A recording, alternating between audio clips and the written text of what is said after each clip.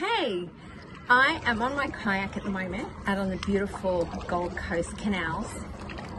And today I wanted to talk about creativity and doing things that you love.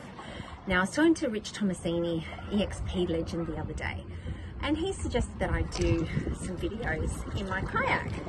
And it's kind of like no extra time. You know, Tony Robbins calls it net time, no extra time. I'm exercising, I'm shooting videos, I'm, you know, getting my thoughts out.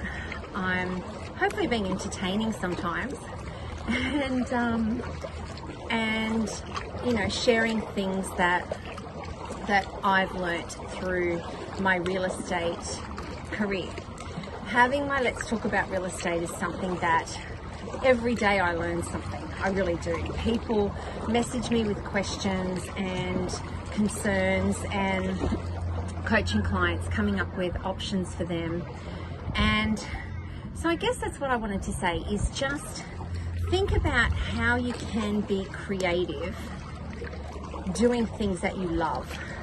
Whether that's, you know, exercising is, is one thing, whether you like rollerblading, roller skating, kayaking, jet skiing, boating, running, climbing, whatever it is allow people to step into your world and get to know you and what you like and build commonality.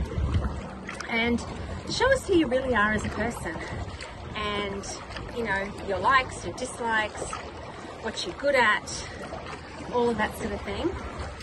And um, just gotta watch the boats hi. Just gotta watch for the boats that come past that don't watch out for me. No he was all right. So um yeah, that's that's today. Is just creativity. Be creative, doing something that you love.